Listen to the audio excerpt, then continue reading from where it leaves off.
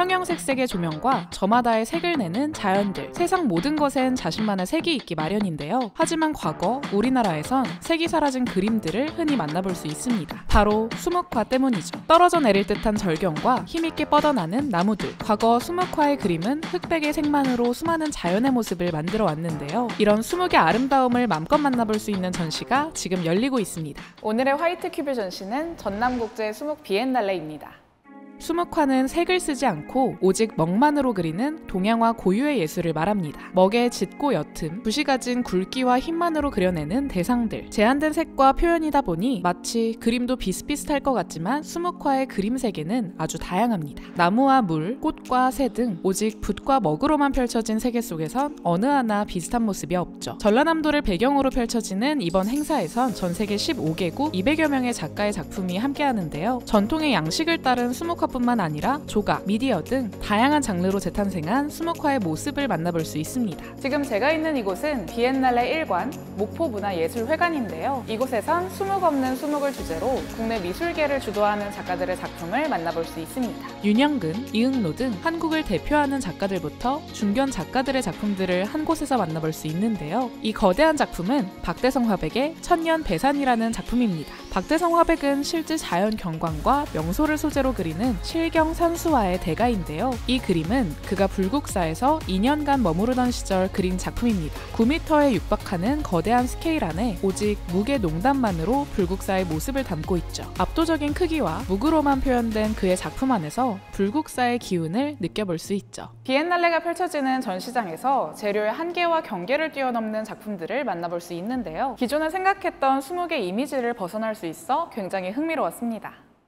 2021 전남국제 수묵 비엔날레는 목포를 중심으로 진도, 광양, 여수, 광주광역시까지 남도 전역에서 펼쳐지는데요. 6개의 주 전시관을 중심으로 4개의 특별전, 그리고 15개 기념전까지 각 전시마다 다른 주제의 수묵 작품들을 선보이고 있습니다. 때문에 전남 전역을 투어하듯 돌아다니며 각 전시장 안에서 다른 컨셉의 작품들을 만나볼 수 있죠. 수묵의 재료적 한계를 초월한 국내외 현대 작품들부터 남도 지역 현대 수묵 작가들의 작품들까지 뿐만 아니라 아니라 신세계 동양 화가들의 실험적인 수목 작품과 공예, 도자기를 비롯한 현대 작품들, 패션 조명 등 생활 속 디자인이 된 수목 작품들과 홍콩, 영호남 등 타 지역의 예술가 작품까지 만나볼 수 있는데요. 수목이라는 소재를 통해 한 지역 전체가 서로 다른 이야기를 뿜어내는 시도가 참 신기하게 와닿았습니다. 실제로 전라남도는 대한민국 수목의 화맥이 시작된 곳으로 평가받는데요. 때문에 현재까지도 이 수목화의 전통을 지켜온 고장입니다. 수많은 수목화 거장들의 발자취가 바로 이곳 전라남도 남도에서 숨쉬고 있는데요. 이번 행사를 통해 남도에서 이어져 내려온 그리고 각자만의 색으로 재탄생한 지역 작가들의 작품뿐만 아니라 타 지역 전 세계의 다른 수목 화가들의 작품들을 접할 수 있다는 게 신선하게 다가왔습니다. 동양 문화권에서 특히나 깊은 역사를 가져온 수묵화인 만큼 수묵이라는 주제로 한 지역에 한데 모여 작품 세계를 펼친다는 것이 놀라운 경험이었는데요. 전라남도의 아름다운 자연 경관과 함께 자신만의 철학으로 탄생한 수묵 그림들을 마주하다 보면 어느새 깊고 깊은 수묵의 세계로 빠져들게 됩니다. 됩니다. 마치 여행을 다니는 것처럼 전라남도의 각 전시장을 돌아다니며 20개 세계에 빠져보는 것도 좋겠죠?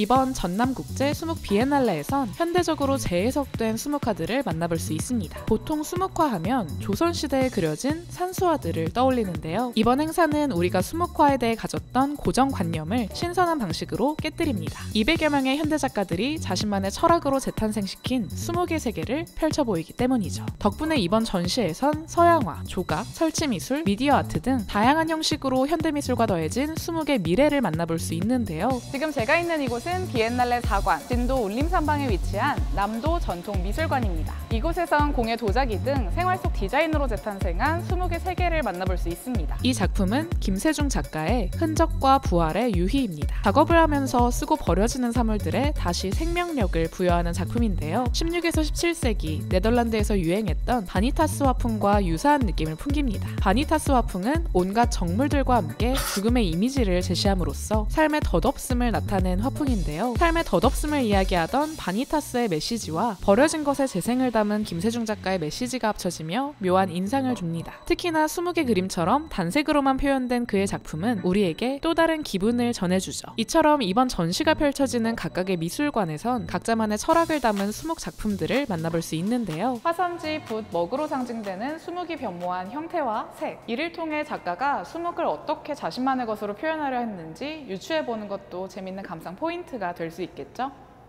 이번 전시를 보러 가실 분들을 위해서 꿀팁도 알려드릴게요. 이번 전시는 티켓 링크를 통해서 꼭 사전 예매하시길 추천드려요. 사전 예매한 티켓 한 장으로 무려 25개의 전시관을 무료로 관람할 수 있는데요. 특히 올 3월에 개관한 전남도림 미술관에서는 이건희 컬렉션도 진행되고 있습니다. 그뿐만이 아닙니다. 관람권을 소지하고 있으면 전라남도 내에 각종 관광지 입장료를 10에서 50%까지 할인받을 수 있습니다. 심지어 숙박 할인까지 제공하는데요. 자세한 할인 내역은 수목 비엔날레 홈페이지를 통해 꼭 확인해 보세요. 뿐만 아니라 이번 행사는 온라인으로도 만나볼 수 있는데요. VR 전시, 온라인 도록을 비롯한 온라인 전시와 웹드라마, 토요 시네마 등 다양한 볼거리를 제공한다고 해요. 더불어 온라인을 통한 다양한 이벤트와 교육 아카데미도 제공한다고 하는데요. 전시를 가지 못하는 분들에겐 간접적으로 수묵을 즐길 수 있는 기회를, 전시를 다녀오신 분들에겐 수묵의 여운을 더 잘 즐길 수 있는 경험을 제공합니다. 전시를 더 다채롭게 즐기고 싶다면 이 혜택도 놓치지 마세요. 하나의 전시를 다채롭게 바라보는 화이트 큐 뷰. 오늘의 전시 어떠셨나요? 전시를 보러 가실 분들, 그리고 아쉽게 보러 가지 못하는 분들 모두에게 유익한 시간이 되었길 바랍니다. 궁금한 전시가 있다면 아래 댓글로도 남겨주세요. 그럼 저희는 다음 화이트 큐브에서 찾아뵙겠습니다. 안녕.